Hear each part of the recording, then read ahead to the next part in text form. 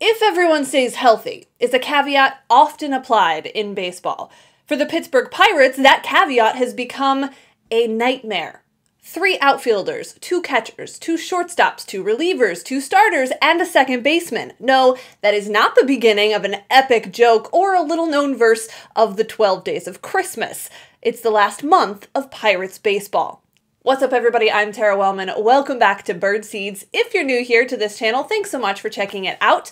I cover the St. Louis Cardinals for birdsontheblack.com and I create daily and weekly videos right here on YouTube. My goal is always to keep you, the fans, in the loop and entertained. This episode is a series preview as the St. Louis Cardinals get set to welcome the Pittsburgh Pirates for four games at Busch Stadium. If you like what you see in here, do your girl a favor, hit that like button, and if you want more, you can always subscribe to get all the latest updates. Now, the Cardinals have had a rough week, dropping back to back series in very frustrating fashion.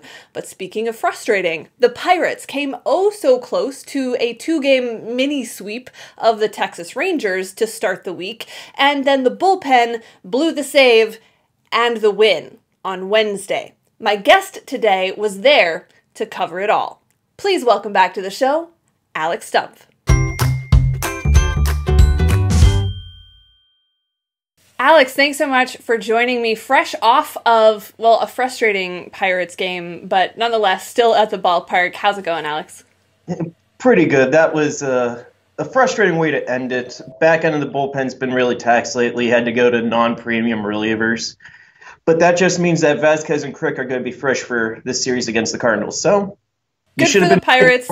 you should have been rooting for the Rangers. Yeah, there you go. Just, a lot though has happened since the Cardinals and the Pirates last saw each other very early in the season. Primarily like I think everyone who plays for the Pirates has been hurt since then. Who's even on this team right now that Cardinals fans will recognize when they get to St. Louis? I mean, that's how I feel like this needs to start. Well, Josh Bell. okay. yeah, he's he's tearing up the ball. He this is the best we've ever seen him hit hit it. Not only just the season as a whole, but this kick that he's on right now. I think he's had like nine extra base hits over the last eight games, all during a hitting streak. It's he's ridiculous right now. This is the best Josh Bell has ever hit. I'm sure he's you know, salivating to face some Cardinal pitching right about. Seems like he always hits the cards pretty well. It, it uh, certainly does. They just got Melky Cabrera. No, they've always had Melky Cabrera. I mean, I guess since the year started. But they just got Starling Marte, Gregory Polanco back. That's good. Uh, the infield, Cole Tucker's up instead of Erik Gonzalez, who was the shortstop the first time these teams faced each other. Basically, the injuries have been mostly to the rotation. The big ones right now are Jameson Taillon and Chris Archer. There's an unbelievable slim chance that the Cards will see Chris Archer on Sunday. Very likely not. I mean, Pirates are fortunate in the sense that you know they still got Musgrove, Lyles, and Williams going in this series, who were three guys who were starters at the beginning of the year, and this is a very big uh, first series and a big road trip for them. Uh, so they're lucky in that regard. Those are the two big injuries right now. Archer was the big deadline acquisition last year and pitched well before that last start against the Dodgers, where he went immediately on the IL the next day. Something obviously wasn't right. And Taillon is supposed to be the ace. He hadn't pitched, you know, 100% this year, but that's what you expect him to be. And then he's like, yeah, I haven't felt all, all year, and kind of makes sense now. He's got to be shut down for a month before they figure out what to do next. So I did some digging on the MLB archives, and there had never been a year since 2001, which is as far back as it goes, where the Pirates had to put eight more than 18 different players on the disabled list or injury list, and already up to 17. So that's not good. That's not how you draw the season up for sure, especially when you look at a division no, no. that's going to be. Yeah, I mean it's you know especially when you look at a division that's going to be as tough as this one is, you you always kind of enter with that caveat of well look here's how we can compete assuming everyone's healthy and that's been far from the case. You did mention Josh Bell, though. I want to talk about him. I asked for some Twitter questions. One of them was about Josh Bell and Melky Cabrera and how they're kind of driving this offense. But when I did the first series preview ahead of the Pirates and the Cardinals playing earlier this year, talking to Nubyjas Wilborn, he basically was telling me that that a lot of people were so down on Josh Bell that Josh kind of took that as a challenge to say, okay, look, I'm not that guy and I'm going to prove it. And right now it looks like that's exactly what he's doing. Yeah, uh, Josh in his rookie year, he had the good traditional numbers. He hit 26 homers, drove in 90 something runs, had a good batting average. It was a good offensive season. But last year, power numbers went way down. But I think a lot of people misconstrued that for a bad offensive season because his OBP went way up mm. as a result. So it turned out to be pretty similar years. This year, we're seeing the good OBP, we're seeing the good power numbers. He's driving in runs. It's what you want from your cleanup hitter. This is he's getting the ball in the air for the first time, like consistently. He that had been a problem throughout his entire career. And I think that's where a lot of frustrations with Josh Bell came around. It's like this guy's six five something pounds, built like an NFL tight end. Why is he hitting it on the ground so often? Now he's putting it in the air, and he hit a 472 foot home run today. It, it was pretty Insane. fun. the the replay it was just like, what? um, yeah, so that's got to be a, a, huge boost for for this team, but also the hitting streak that that Cabrera's on right now. You mentioned it. I mean, he's been there, but what he's doing right now is more what you expect from him, right? That's what he's there to do for this team. Yeah, I mean, coming into the year, Lonnie Chisenhall was supposed to be the guy who got in time while Gregory Polanco recovered from his shoulder injury. Uh, Chisenhall breaks his hand at the very end of spring, so Melky got his chance, and he's made the most of it. I mean, he's been a fun veteran presence in a young clubhouse. I mean, he's having a lot of fun being in Pittsburgh. He's getting time play, and he's hitting well. Yeah, I mean, he's probably not hitting as well as the batting average and all the other stats would say that he actually is kind of relying on the batted ball and play gods at the moment. But he's he's hitting well. He's hitting with authority. And the joke that's going around Twitter is, you know, he's a professional hitter. It's like, of course, they're all professional hitters, but it's fun just to see a couple people get really angry about that. Yeah, that's one of I love those those old baseball cliches that you're like, well, obviously. Why did yeah. this become a thing? But it is. And you know, it's so Tyler true though. Tyler Lyons had to bet today. He was, by the loosest of definitions, a professional hitter. well, we're gonna have to talk about Tyler Lyons at some point because my uh, podcasting co-host for uh, one of my uh, Cardinals podcasts is a huge Tyler Lyons fan and very much looking forward to the return of Tyler Lyons. We'll talk about him in a minute, but we'll get to pitching uh, a little bit further on. But it is it is interesting when you see a guy like Cabrera who does have that veteran presence it's often really hard to quantify what that does for a clubhouse or what that does for a lineup, what it does for, you know, the way that he takes at bats, right? Because there are professional hitters who are really bad at the end of their careers. but when you bring something like that that maybe you can't turn into some sort of numerical value or, or some sort of, you know, analytic, it's got to be helpful just because of the experience, if nothing else.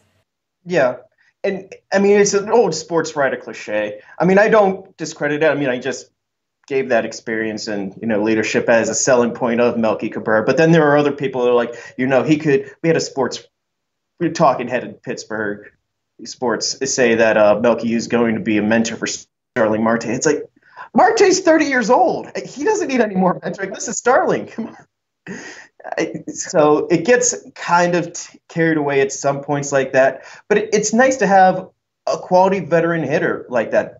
The Pirates are known whenever they do hit the lottery in uh, free agency. It's usually pitchers, whether it's AJ Burnett, Francisco Liriano the first time around. Now it looks like Jordan Lyles. He's been something special so far back in the starting role. But they've had more than their fair share of success also with outfielders. They haven't really needed it because, you know, there've always been two or three really good outfielders in Pittsburgh.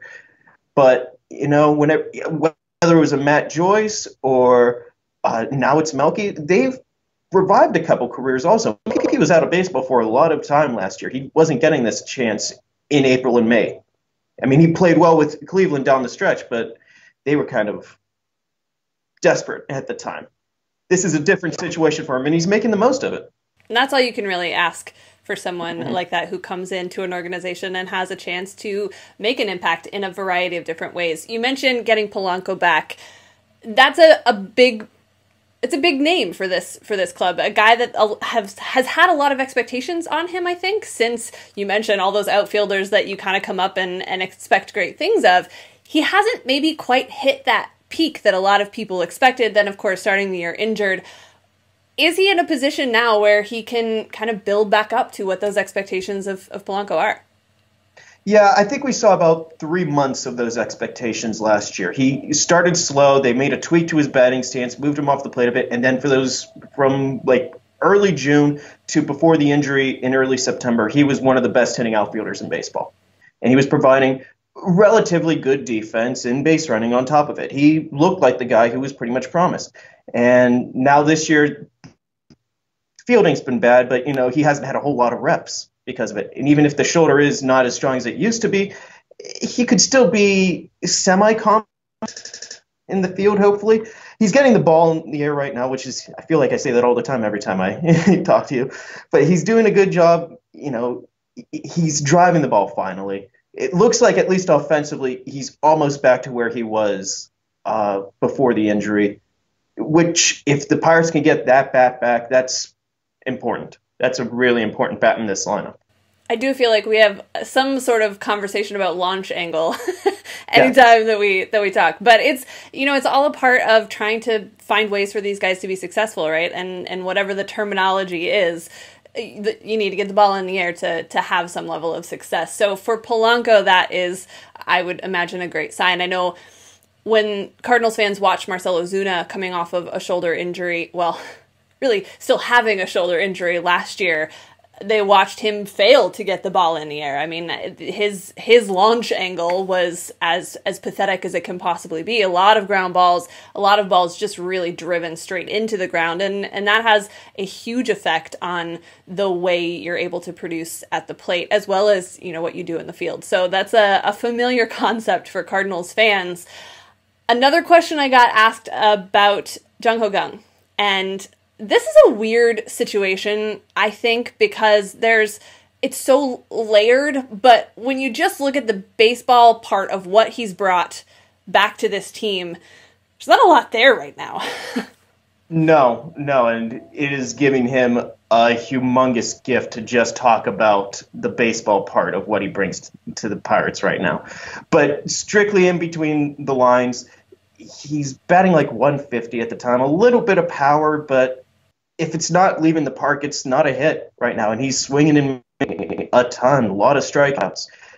He's quite frankly looking like someone who hadn't played in the major leagues for two years, which isn't exactly what you want from you know your starting third baseman. Colin Moran's been streaky. He hit a homer today, but before then he had been on a really long lull.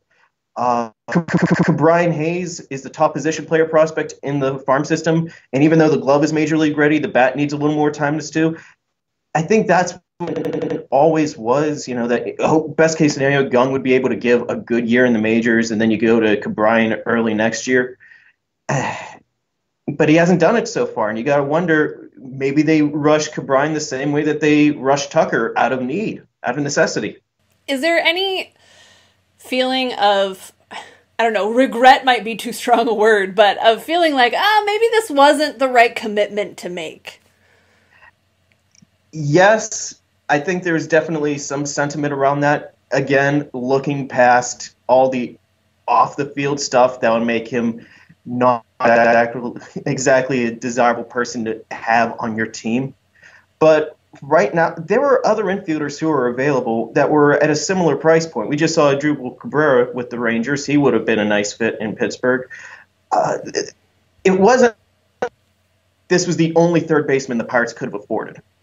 This was the one that they spent years trying to get in, and they thought he would be the best bang for the buck, and that he would be the guy. He would go back to his 2015, 2016 self, where he was one of the more underrated hitters in baseball he hasn't been that. And after about 100 plate appearances, you have to wonder, will he ever be that again?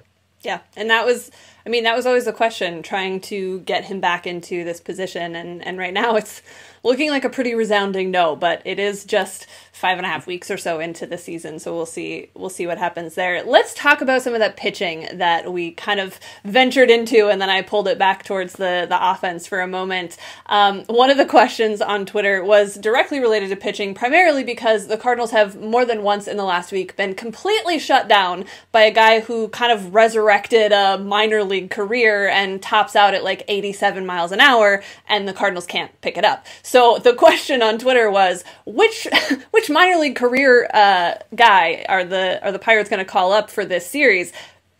In jest, of course, but the reality is that the Pirates have some strong, solid pitching, so, strong starting pitching going in this series.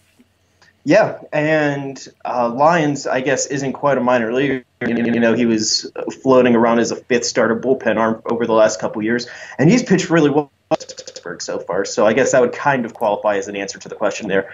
Uh, fastball's high, curveball's low. He's looked good so far.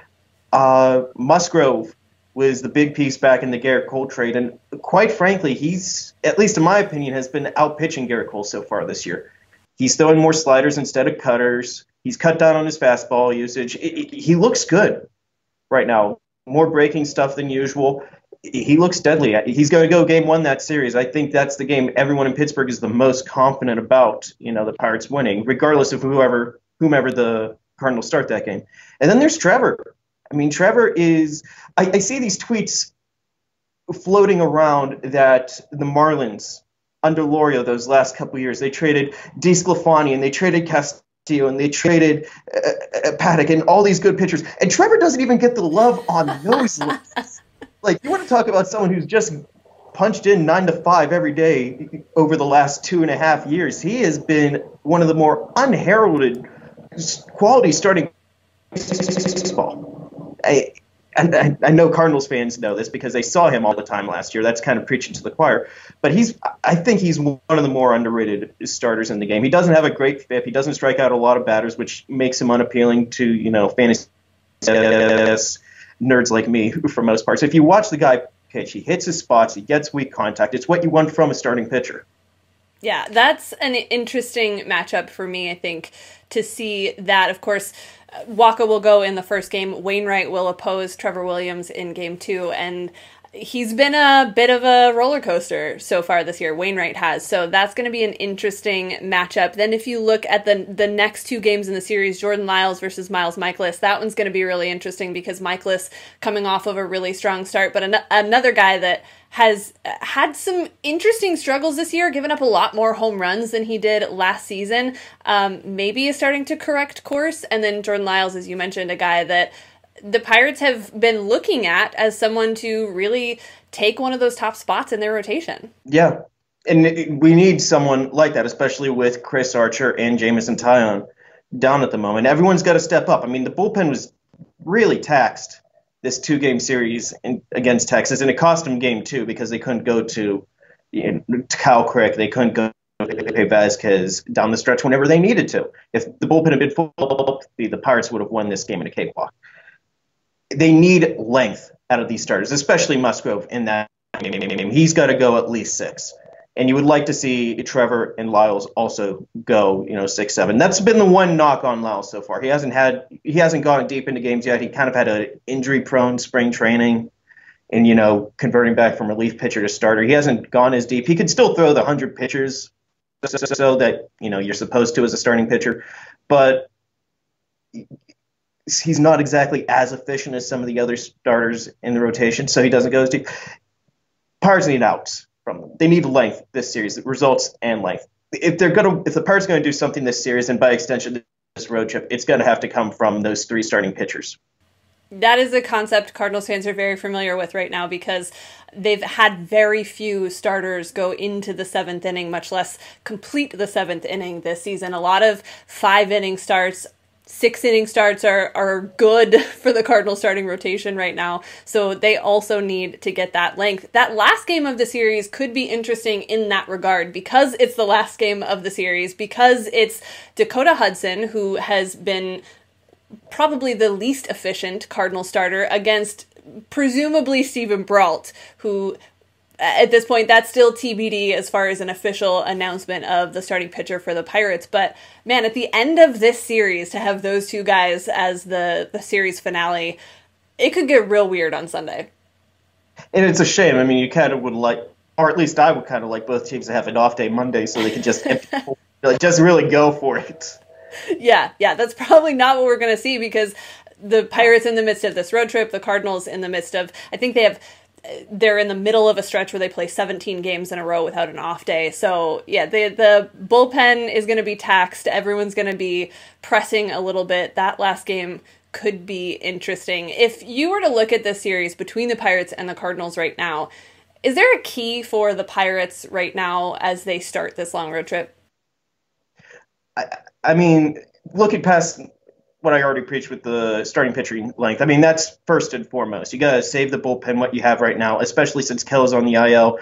Rodriguez hasn't pitched as well. Right now, the bullpen only has about two, two or three really reliable at the moment, and they're taxed. So it'd be nice for the offense to put up, you know, six or seven runs, you know, and the starter goes two innings, and boom, you win seven one. It'd be nice to get a start like that every once in a while, but that's not how these Pirates work anymore every game has to be closer, a complete blowout, nothing in between.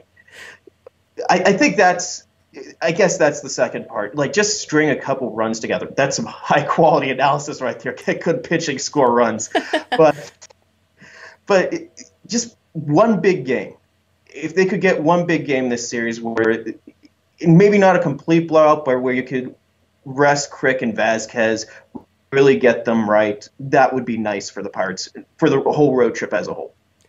There are some interesting things happening in the Cardinals bullpen right now. Dominic Leone is a guy who's been really struggling. Luke Gregerson just came back after basically not pitching at all last year and then not pitching most of the spring. He hasn't looked great. But I did want to mention this just because someone asked on Twitter. This is more a question for me, I think, but about the Cardinal starting rotation. Uh, there's some talk that there needs to be some changes as far as who those five guys are. And the reality for me is that, yes, I've said since the offseason that they needed an additional reliable starter outside of Miles Mikolas because Jack Flaherty has all the potential in the world, but he's not super reliable yet. He's still figuring out how to adapt to major league lineups.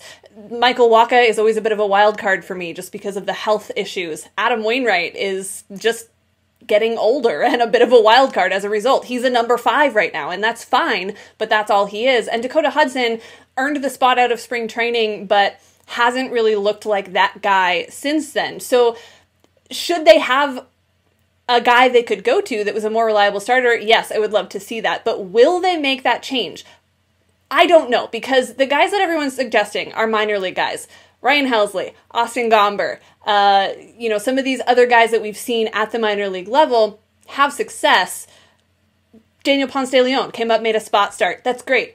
They're not necessarily any more reliable than the guys who are already in the starting rotation. They have some of the same tendencies. They may be more successful in the moment, but that doesn't mean they're going to be more reliable long term as you would get from uh, you know, a veteran presence in the rotation. So long way to answer this question. I don't really envision them making a change abruptly to the starting rotation because I'm not sure that there's anyone that they could call up that would be more consistent, more reliable than the potential that they have already in the rotation. But keep an eye on this team as we, you know, creep toward the trade deadline because if they're still kind of trying to find their way with the starting rotation, they're one starter away from really being able to lock up a couple of series. So that's my long winded answer to a question that has very little to do with the Pirates, but I wanted to get to that because it was a question brought up on Twitter. Alex, starting pitching is so important and it always has been. There's kind of been this transition to focusing more on the bullpen, but as you mentioned with the Pirates, getting those outings from the starters that give you the options of your bullpen, it's still so important. Yeah. And I mean, I think we saw that a lot in Pittsburgh this series whenever you had to start Brault and Kingham in back to back games. And both of them have been long relievers, so they're not fully stretched out, so they could only go four innings each. And then you really tax the bullpen and you kind of you long for those days because neither one was pitching poorly. I think both only gave up two runs each. So it's like, yeah, under normal circumstances, they definitely would have at least gone out for a fifth inning, if not a sixth. That's why there is still the guy, whether it's the opener in Tampa Bay or the other 29 teams still using starters. Someone has to get the the bulk of the outs, and if someone if that guy really doesn't do his job, it really hurts everyone. If for an extended period of time, it could take days. Even if you have an off day, the next day, I mean, that doesn't mean everyone's 100% whenever you get back. It really does tax the whole pitching staff if you don't get that length. And I think we're seeing that even with teams like the Brewers that kind of intentionally built the bullpen to be the strength of their pitching staff. Last year, they still got enough from their starters to hand it over yes. to the bullpen. This year, they're not getting enough from their starters. So you still have to have that balance of how you're going to get those outs, how you sort of allocate the majority of those outs over the course of a game. And you know, it's it's an inexact science, if nothing else speaking of the Brewers, though, the last question I wanted to ask you is as you're looking at the NL Central, I mean, this division. We all saw it coming on paper. It's this is one of the toughest divisions in baseball. There are so many teams that have the potential to either contend or to play spoiler to the teams that are at the top of the division. I, I don't think that's going to change for a long stretch of this season, but what's been your takeaway of the NL Central so far? I I think we're the best division in baseball. I think that's safe to say. I mean, Pirates are what fourth place with a winning record, and the Reds in last, and they have a plus twenty run differential or something like that. It's like okay, so this is just the Hunger Games. That's cool. Uh, I still think the Cardinals, if they're not the favorite to win the division, it, you know, they're one of. I'm I'm still in general. I think the pitching staff is smoke and mirrors, especially the starters. I mean, a couple really great hitters, but I don't think that makes a whole team. And the Brewers, I I kind of thought Milwaukee was walking on eggshells throughout most of last year, winning a lot of one-run games, and because you know they had Knebel, they had Jeffress at his absolute best, Josh Hader was at his absolute best. Now they don't have Knebel. Jeffress was also injured for a bit. Hader's been bit by the home run ball for a bit. If those, if they don't have that back end, I don't think they're going to be as competitive right now. Honestly, the way I see the division right now, it's Cubs and Cardinals still at the top, and the Pirates and Brewers a step behind that could make noise, maybe win a wild card if a couple things break their way. Yeah, yeah, it's but I feel like and every since he's along for the ride. but you know what? I've said I've said this a couple times. While I don't think the Reds are are positioned to be particularly competitive as far as fighting for a wild card spot or anything like that, I do think that they can impact who does get those postseason spots in this division because they can pick up key wins in the division. Or, as I was talking in a, a, Red Series preview earlier this season, if they become sellers at, at the trade deadline and just sell everybody off, then all of a sudden you start looking at the schedule who has the most games left against the Reds. Well, you're going to pick up some some easier wins. So they could factor into what happens in this division, even if it's not by being one of those top four competitive teams in the division. So I'm it's it's a, a fascinating mix of teams, some pretty evenly matched talent, I think, and it's going to make for some stressful uh, season series, I think, because you can't predict it. You can't go into a series thinking, all right, this is the game they're going to win. This is the game that's going to be, because anything could happen between any one of the, these teams at any time, much like it will in this four game set with the Pirates and the Cardinals. Alex, thanks so much for your time today. I will let you uh, move on with the rest of your day and get ready for this series. Well, thanks for having me on. I'm looking forward to it. Should be a fun series.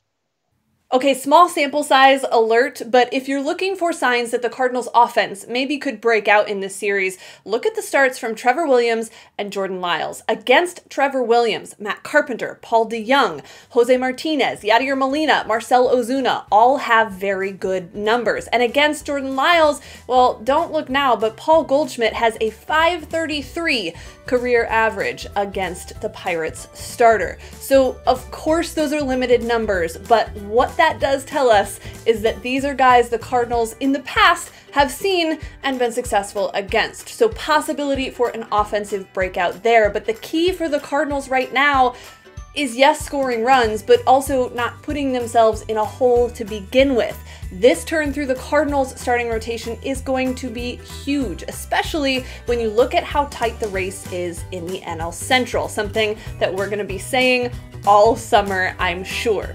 Thanks again to Alex Stumpf for joining me. Make sure that you are following him on Twitter. And if you have any Pirates questions, go ahead and shoot those at him. Make sure that you're subscribed to this channel or to the podcast if you're listening later on the Birds on the Black podcast feed. Check out birdsontheblack.com. Follow me on Twitter. I think that's all the self promotion that I have to offer you. So for now, I'm Tara Wellman.